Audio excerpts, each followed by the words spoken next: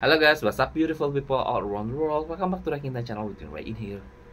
For today's video, we are going to react to this Falon Moore performs Kelly Clarkson's Piece by Piece on the Blind Audition, The Voice Australia Season 13. Alright guys, without any further guys, let's go to the video.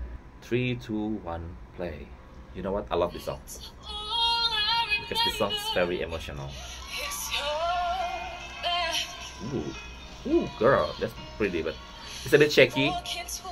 Probably she's nervous. Oh my god, it sounds like she's going to cry. Oh my god, I think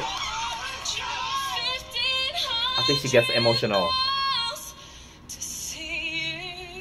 It sounds like she's about to cry.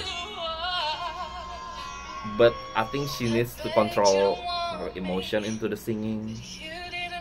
Because in some parts it's kinda bit shaky. But I love this song. Come on, girl.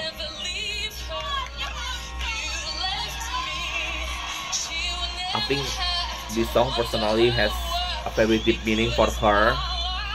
That's why she chose this song.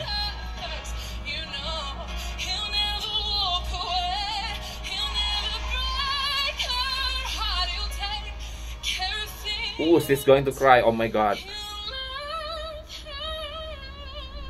But I feel like because she's so emotional, it's it affects her performance because you can literally hear that she's almost crying.